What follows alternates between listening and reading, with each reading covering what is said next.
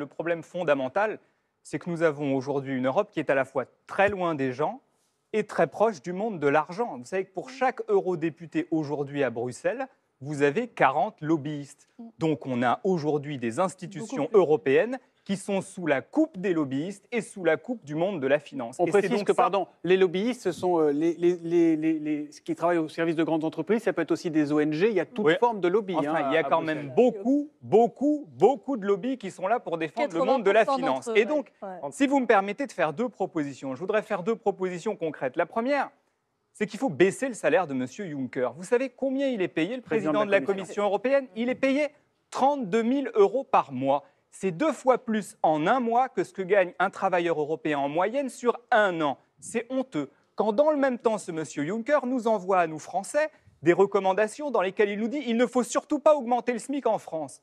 Comment est-ce qu'on peut imaginer que les Français, que les Européens acceptent des institutions comme celle-là? Donc la première chose, on divise par trois, et ce sera déjà beaucoup, le salaire de M. Juncker, il en restera un bon bout, et le salaire du futur président de la Commission européenne. Deuxièmement, il nous faut effectivement nous prémunir contre ce fonctionnement des lobbies, contre ce mécanisme de porte tournante qui fait qu'un commissaire européen se retrouve ensuite dans une grande boîte et qu'un dirigeant d'une entreprise se retrouve ensuite commissaire européen. Vous savez peut-être que le commissaire au climat, c'est l'ancien magnat d'une compagnie pétrolière.